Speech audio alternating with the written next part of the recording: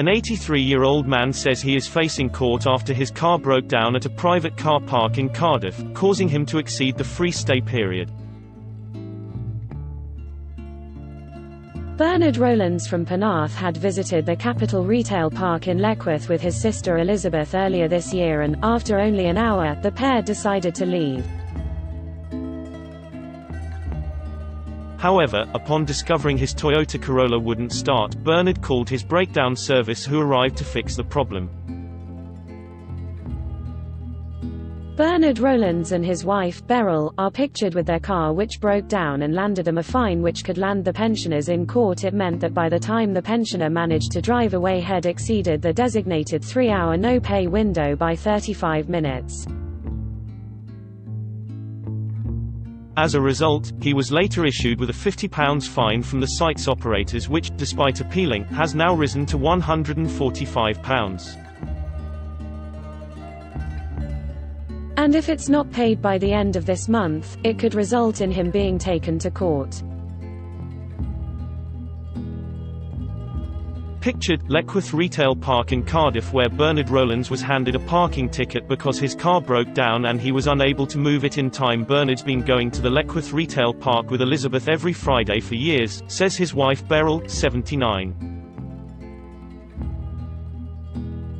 He parks up, she goes in and does her shopping, he waits for her in the car, they go home again, that's it. But because the car wouldn't start he had to get the RAC out and it took them several goes to get it working again.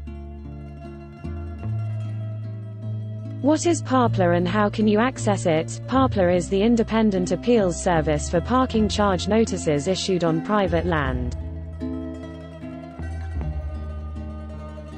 POPLA stands for Parking on Private Land Appeals. It is an independent appeals service paid for by the parking industry and was brought in under the Protection of Freedoms POFA Act 2012. You can access their services here, just click the button that says Start a New Appeal, wait for your verification number and send the required documentation. We didn't think anything of it until we got a letter telling us he'd be fined for staying there too long. Told to pay up within 14 days, the couple contested it, via POPLA, an independent appeals service for parking charge notices issued on private land. But they still face having to pay or incur legal proceedings. We've showed them all the RAC paperwork as proof we weren't lying, but it doesn't seem to have made any difference, adds Beryl. The same car park was in the news earlier his month when a number of people were incorrectly issued with fines after the free period was halved due to a football match taking place at the nearby Cardiff City Stadium. Shoppers successfully appealed against the charge, claiming there were no signs warning the match was being played.